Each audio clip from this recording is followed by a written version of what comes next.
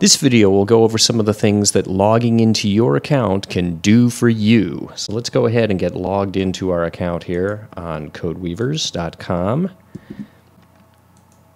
by entering the email and password for your account. You can do all the normal things uh, on your account that you would expect that you would find on pretty much any other website's account system. You know, change my email addresses, change my billing address, change my password, all of that good stuff. That's all here. The two really important things, though, that logging into your account does for you is first, it saves you money. How? Because when it comes time to renew your copy of Crossover, logging in will get you the sweet 50% discount that returning customers receive. So, to get that discount, what I would do is I would click on the buy button here, and I see under my menu of products down at the very bottom support extensions. And if I click on that, it shows that I am a current customer and that if I want, I can add that support extension to my cart, and lo and behold, I get 30 bucks off. So there's the 50% discount. That's how I go about getting that.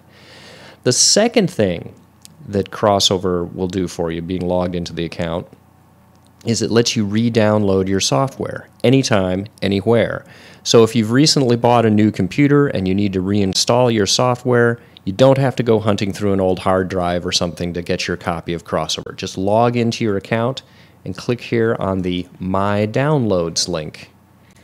And you'll see down at the bottom of the page, here's Crossover Mac 12.2.2, which is the most recent version uh, at the time of this recording, and all I have to do is click on that link, and ba-boom, I get to download my copy of Crossover again. What this also lets you do is reinstall all your Windows applications that were running under Crossover. If you backed up those Windows applications using Crossover's bottle functionality, you can then install your new copy of Crossover on your new machine and then reinstall all your old Windows applications from those bottles. And if you need help with that, see our how to videos regarding bottle management. But those are the two great things that logging into your account does for you it saves you money and lets you re download your copy of Crossover whenever you need it. Thanks for your attention, and thank you for using Crossover.